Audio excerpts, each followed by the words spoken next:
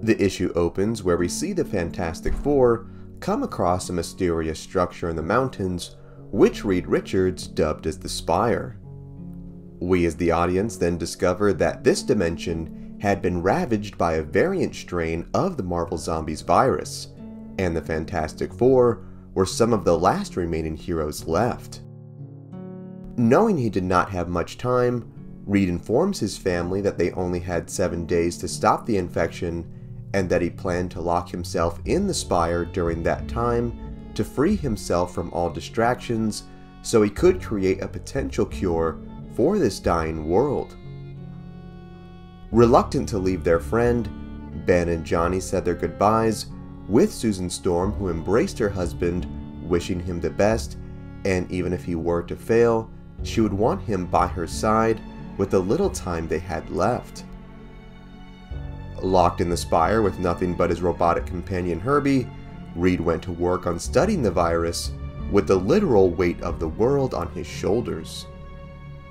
With six days left, Richards was hard at work where we see him receive a call from this world's Iron Man, who was still very much alive.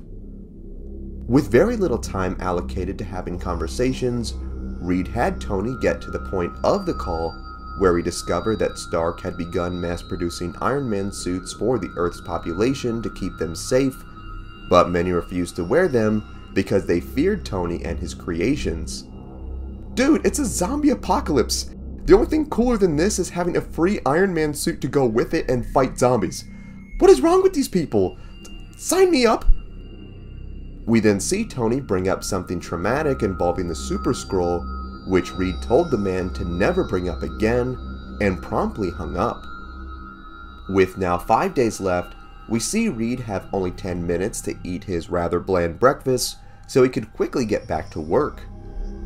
With no books, windows, or music, Reed quickly felt his mind slipping as he focused on his work, even forgetting to use his plastic abilities to keep his humanoid form. Upon the fourth day, Reed awoke with a brilliant idea. Given the cosmic rays that gave the Fantastic Four their incredible abilities, it gave them all a superhuman immune system that resisted nearly every infection known to man.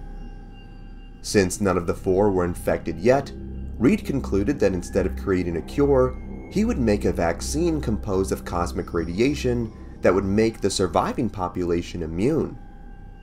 Fueled with newfound hope, Mr. Fantastic spent the next 24 hours feverishly working to save his dimension, ignoring calls from the Avengers and even his own children. With three days left, an excited and rather sweaty Reed called Tony Stark to inform him of his breakthrough with this vaccine. However, it is from Iron Man that we find out the truth of what was really going on involving his comments on the Super Skrull. It turns out that the entire beginning of this story of Reed saying a noble farewell to his family was all in his head, and in reality, they had all been violently killed by the Super Skrull, who was one of the first infected members of the Marvel Zombies virus. Overtaken by grief, Reed came to the Spire to die, creating this false world savior scenario to mentally cope with what happened. With one day left, we see Reed atop the spire, thinking back of the beautiful life he once had. Saying his goodbyes to Herbie, we see that he was actually infected this whole time, with his powers only keeping the transformation at bay. As the flesh melted off the former hero's face, he told his robotic companion that he would miss this world where his bloodied corpse would then collapse to the ground, this universe's Fantastic Four finally gone.